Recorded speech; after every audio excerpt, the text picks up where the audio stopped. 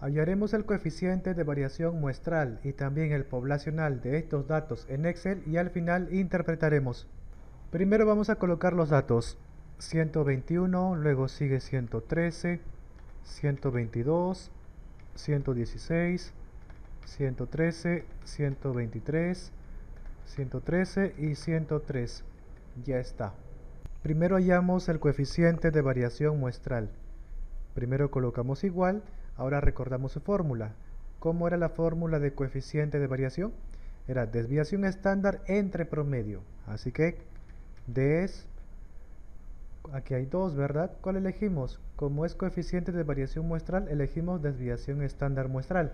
Doble clic, seleccionamos todos los datos, cerramos paréntesis, entre, entre el promedio, ¿verdad? Así que escribimos prom y aquí aparece promedio doble clic ahí en el promedio y otra vez seleccionamos todos los datos.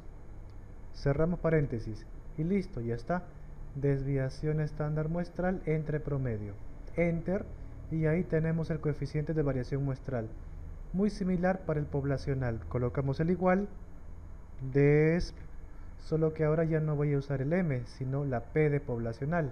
Doble clic seleccionamos todos los datos, cerramos paréntesis, entre, entre quién era la fórmula, entre la media o el promedio, así que vamos a colocar la palabrita prom para que aparezca promedio, doble clic, seleccionamos todos los datos, cerramos el paréntesis, ya está, desviación entre promedio, enter, y ahí tenemos el coeficiente de variación poblacional. Ahora siguen las interpretaciones.